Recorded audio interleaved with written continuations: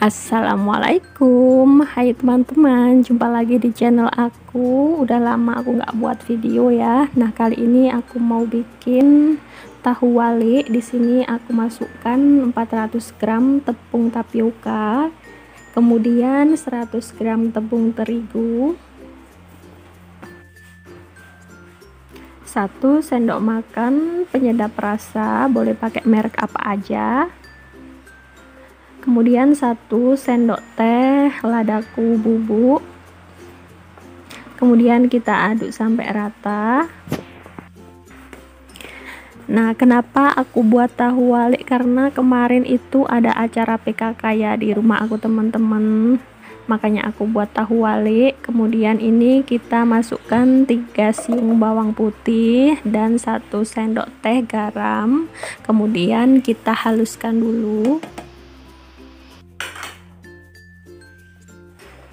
Kemudian kita lanjut lagi kita masukkan bumbu yang sudah kita haluskan tadi ya. Kemudian kita masukkan 200 gram ayam yang sudah aku chopper kalau nggak ada chopper bisa dipotong-potong dadu kecil-kecil gitu. Boleh pakai ulekan atau apa terserah. Kemudian ini aku ada daun bawang bawang pre ya sama seledri ini aku belinya 2000 aja daun bawangnya. Kemudian kita aduk sampai rata. Jangan lupa ditambahkan air sedikit demi sedikit.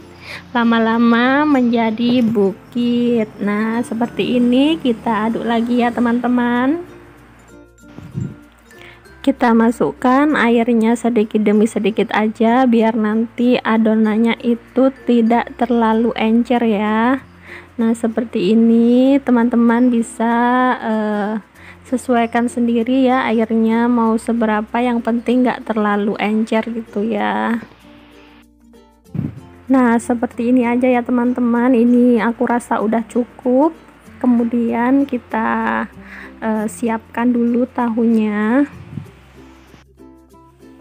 Untuk tahunya pakai tahu yang seperti itu ya teman-teman. Tahu mateng ya aku kalau bilangnya itu gitu kalau teman-teman itu bilangnya tahu apa ya? Nah ini aku potong jadi dua bentuknya segitiga kayak gitu. Kemudian kita balik namanya juga tahu balik ya jadi harus dibalik biar nanti ada kriuk-kriuknya gitu ya. Nah aku balik seperti itu pelan-pelan aja biar tidak sobek. Nah seperti itu nanti kita isi ya teman-teman. Kita lanjut biarkan sampai selesai dulu potong-potong tahunya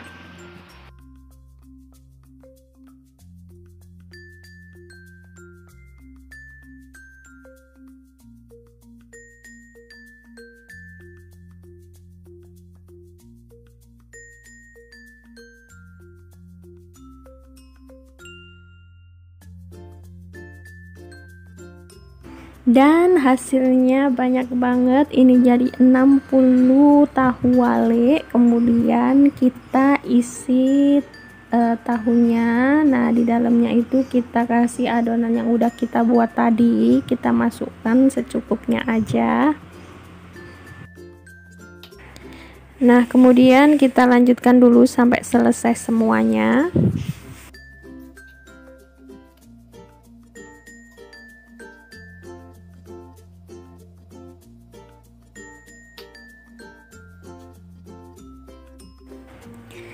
dan sudah selesai semuanya hasilnya seperti itu ya teman-teman. Kemudian kita akan mengukusnya kurang lebih selama 20 menit. Kita masukkan dulu ke kukusannya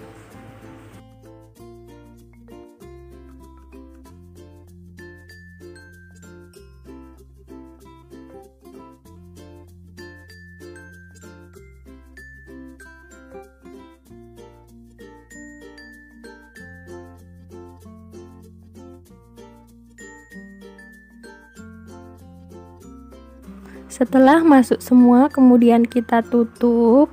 Dan ini setelah 20 menit udah selesai ya teman-teman. Kemudian kita diamkan dulu sampai dingin baru bisa kita goreng.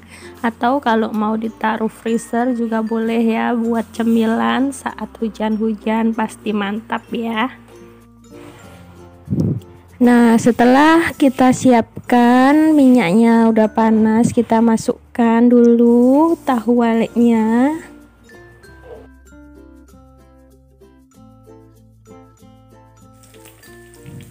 kemudian kita balik agar matangnya merata ya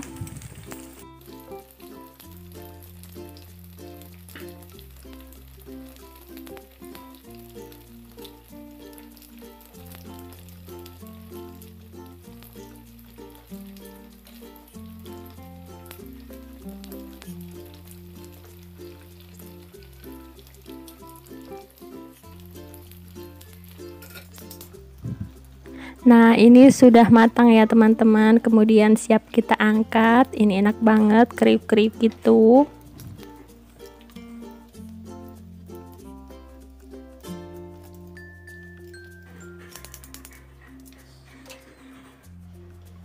Kemudian aku tata di tempat seperti ini. Untuk cocolannya aku pakai saus cabai aja karena lebih praktis ya.